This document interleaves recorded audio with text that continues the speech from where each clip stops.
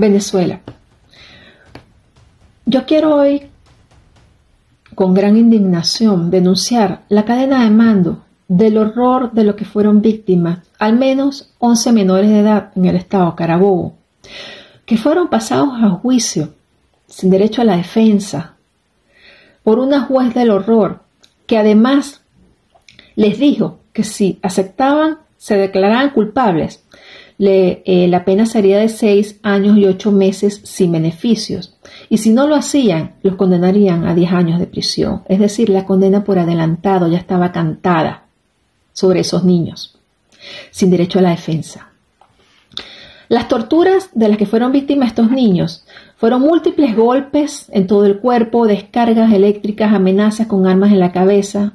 Los obligaron a grabar un video para implicar a María Corina Machado y para que dijeran que les habían pagado 30 dólares por protestar, a pesar de que muchos de ellos ni siquiera estaban en las protestas. La cabeza de mando de todo este horror, por supuesto, es Nicolás Maduro. Y estas personas que yo voy a nombrar, los primeros nombres, son sus altos responsables, son sus criminales, sus fieles, los leales, los que obedecen sus órdenes. Esta cadena de mando, en, este caso de Carabobo, la inicia después de Maduro, ministro del Interior y Justicia. Dos, Remigio Ceballos, quien fue ministro de Justicia hasta el 27 de agosto, hoy flamante embajador en China de la tiranía, y Diosdado Cabello, ministro de Interior y Justicia actual. El director general de la Policía Nacional Bolivariana, el general Rubén Santiago, el subdirector comisario general del SEBIN, Miguel Domínguez, el comisario mayor de la PNB, Raúl Primera, jefe del Red Central y coordinador del Estado Carabobo, el jefe del DAE, comisario general del SEBIN, Carlos Calderón, el adjunto jefe del DAE, comisario jefe Leonel García. A cargo del DAE están la División de Investigación Penal y la División de Inteligencia Estratégica. La División de Investigación Penal fue la encargada de detener a varios de estos jóvenes, fueron incluso los primeros que los golpearon. el, director general de investigación penal es el comisario general del SEBIN, Ronnie González. El jefe de la división de Investigación Penal de Carabobo es el comisario Kleiber Medina.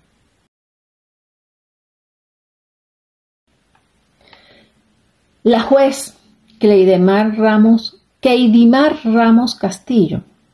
A esta juez que fue incapaz, de incapaz como mujer, de sentir el dolor de estos niños que narraban estos horrores menores de edad, que ni siquiera le importa iniciar una investigación sobre las torturas a las que fueron sometidos porque obedece órdenes. A esta juez, a la fiscal 79 nacional, la fiscal del caso Janet Carolina González, y a la defensora pública Kelly Pérez.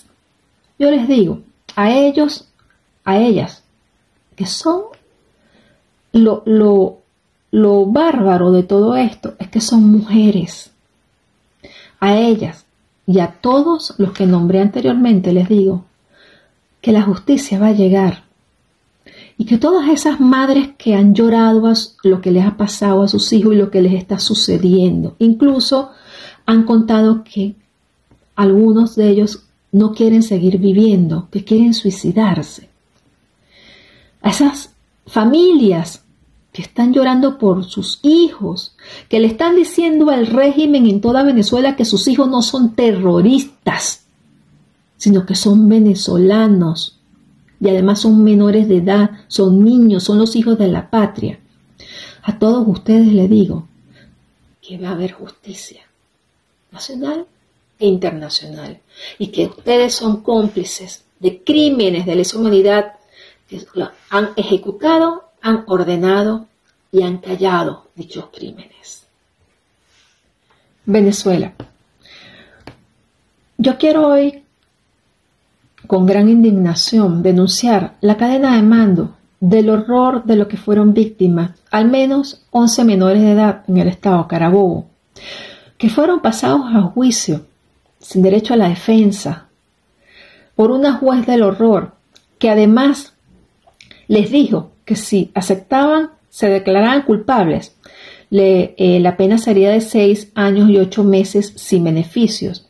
Y si no lo hacían, los condenarían a diez años de prisión. Es decir, la condena por adelantado ya estaba cantada sobre esos niños, sin derecho a la defensa.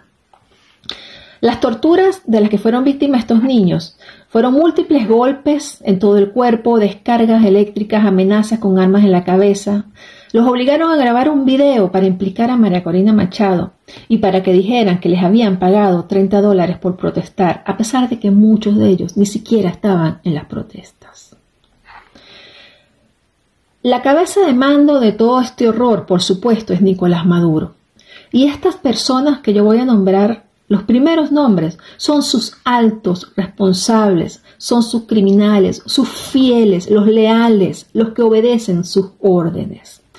Esta cadena de mando, en, este caso de Carabobo, la inicia después de Maduro, ministro del Interior y Justicia. Dos, Remigio Ceballos, quien fue ministro de Justicia hasta el 27 de agosto. Hoy flamante embajador en China de la tiranía. Y Diosdado Cabello, ministro de Interior y Justicia actual. El director general de la Policía Nacional Bolivariana, el general Rubén Santiago, el subdirector comisario general del SEBIN, Miguel Domínguez, el comisario mayor de la PNB, Raúl Primera, jefe del Reddit Central y coordinador del Estado Carabobo, el jefe del DAE, comisario general del SEBIN, Carlos Calderón, el adjunto jefe del DAE, comisario jefe Leonel García. A cargo del DAE están la División de Investigación Penal y la División de Inteligencia Estratégica. La División de Investigación Penal fue la encargada de detener varios de estos jóvenes, fueron incluso los primeros que los golpearon. el, director general de investigación penal es el comisario general del SEBIN Ronnie González. El jefe de la División de, Investigación Penal de Carabobo es el comisario Kleiber Medina.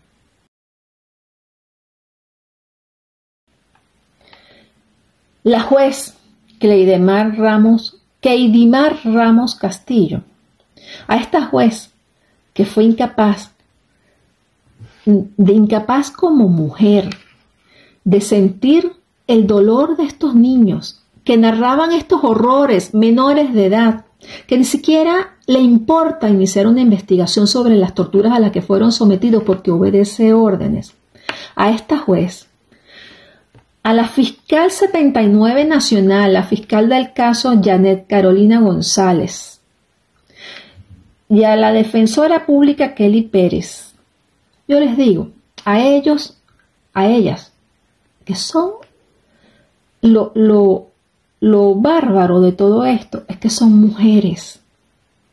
A ellas y a todos los que nombré anteriormente les digo que la justicia va a llegar y que todas esas madres que han llorado lo que les ha pasado a sus hijos y lo que les está sucediendo, incluso han contado que algunos de ellos no quieren seguir viviendo, que quieren suicidarse. A esas familias que están llorando por sus hijos, que le están diciendo al régimen en toda Venezuela que sus hijos no son terroristas, sino que son venezolanos y además son menores de edad, son niños, son los hijos de la patria. A todos ustedes les digo que va a haber justicia nacional e internacional y que ustedes son cómplices de crímenes de lesa humanidad que han ejecutado, han ordenado y han callado dichos crímenes.